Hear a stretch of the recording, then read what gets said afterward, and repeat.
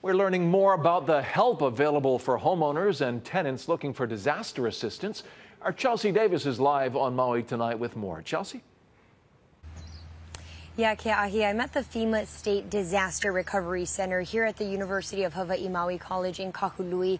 This is where federal and state agencies are coming together to help survivors. It's a one-stop shop in there for recovery assistance, and they say they will help survivors through anything and everything they need.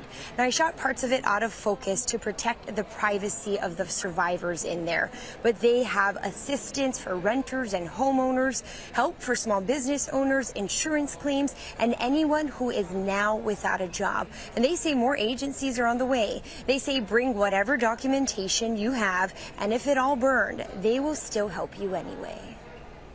We always say document, right, after a disaster. In this case, um, you know, it was no notice, right, and there was no ability to really document, right? That is not a barrier to receive assistance in this case. Um, just come in and bring what you have. FEMA has already approved more than 1,600 households for cash assistance that they don't have to repay.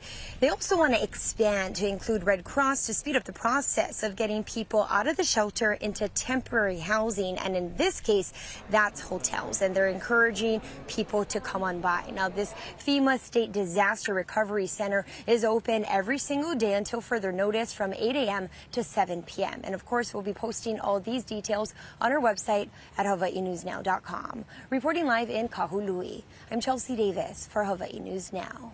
All right, mahalo, Chelsea. The Red Cross is ramping up efforts to get people out of shelters and into hotel rooms, all federally funded for at least eight months. Red Cross staff will be stationed at hotels to help with medical care, emotional support, and casework. This is not just a talking point. Like, this is happening right now. These decisions are going to have an immediate benefit on survivors in Maui, and I'm talking immediate.